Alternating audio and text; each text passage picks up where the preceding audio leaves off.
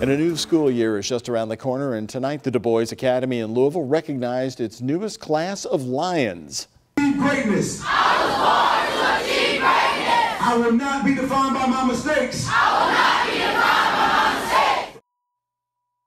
145 new students learned the Du Bois Academy Creed during the school's tie and jacket ceremony. I love their ties and jackets. Wonderful designs on them. The event celebrated students in front of family, friends, teachers, and community members.